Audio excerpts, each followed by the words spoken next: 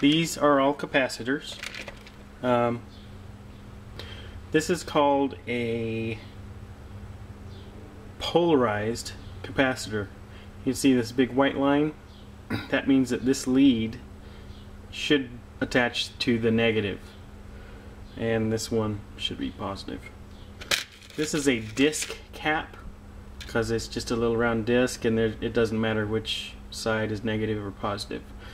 What a capacitor does, if you put voltage on it, um, essentially it lets current go through for a short amount of time then it stops. And then if you were to reverse current, it goes through for a short amount of time and it stops. And um, they're extremely useful for timing circuits. Say if you want to blink an LED, well, you use a different size of capacitor to make it blink for real short amount of time or make the blinks longer. Um, to get out my meter. Let's try going up to R1 R100 here. We'll see if it jumps. See it jump, and then it stopped because enough current went through that it doesn't. It's it won't let any more through. So then it jumps this way. Move over. See it jump.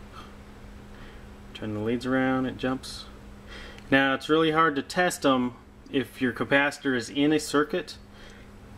You might it might not read just like that. Um, and here again, this an analog meter is a lot nicer for testing a capacitor than a digital meter.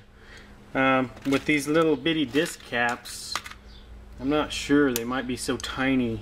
The uh, microfarad reading is so probably down to nanofarads. I'm not sure.